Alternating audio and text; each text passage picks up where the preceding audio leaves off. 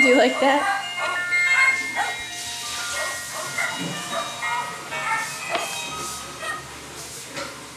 Open it again.